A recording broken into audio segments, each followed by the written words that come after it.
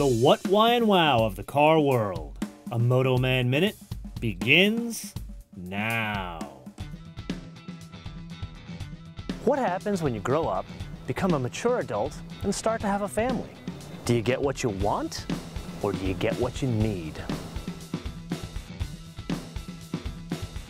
But need in the luxury crossover world generally comes in two flavors, small or large.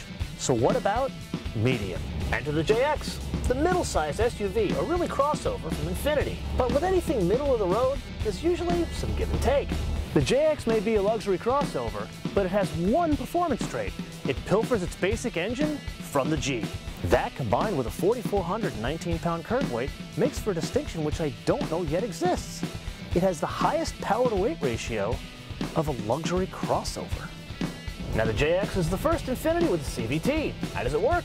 Well, let me put it to you this way. When you decide to have kids, your priorities change.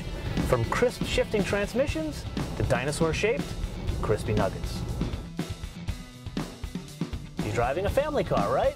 Well, there's a new interpretation of what that means nowadays. Try telling the lady in your life that you're not out with the boys or you're driving very carefully, and your JX will rat you out. Speed alert exceeded. How fast is he going in my car?